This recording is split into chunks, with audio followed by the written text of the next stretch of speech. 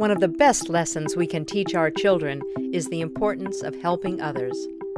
For nearly 50 years, Crop Hunger Walks have helped families around the corner and around the globe access nutritious food and clean water.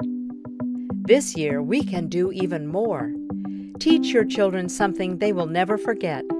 Teach them the value of hope.